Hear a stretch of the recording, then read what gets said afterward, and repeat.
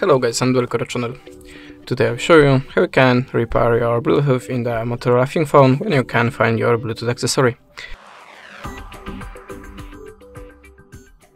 So, when I have a problem with my headphones, I'm always starting from the simplest way. Just go to the Bluetooth by opening the tab menu, hold the finger on the Bluetooth and go to the connection preferences. Then tap on the Bluetooth and just switch it off and switch it on again. It's a little bit obvious, but sometimes it works. Then look for your device again. At the start you have to be sure that your Bluetooth accessory is visible for other devices and you in the most devices you have to enable a mode. How to do it? You have to check your manual instruction to your device. In my case I have to click three times this button and my headphones starting in pair mode.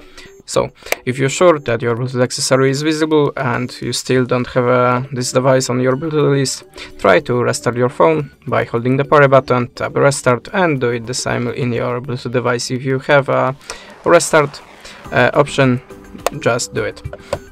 Then look for your device again and but if the mm, YouTube, uh, sorry, the device is still not visible for your phone, just go to the uh, settings choose system and go to the reset options. Then tab reset Wi-Fi mobile and Bluetooth and tab reset settings. Then confirm by the pattern, click reset settings and look for your device again.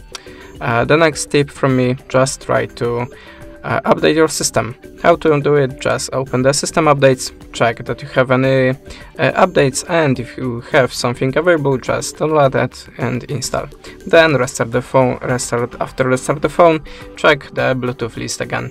And the last recommendation from me, check your Bluetooth accessory and your phone to mm, check on other device to check which gadget making a problem here, which one is visible, which one is not. And that's it. Thanks for the watching, leave us a subscribe or a comment, and goodbye.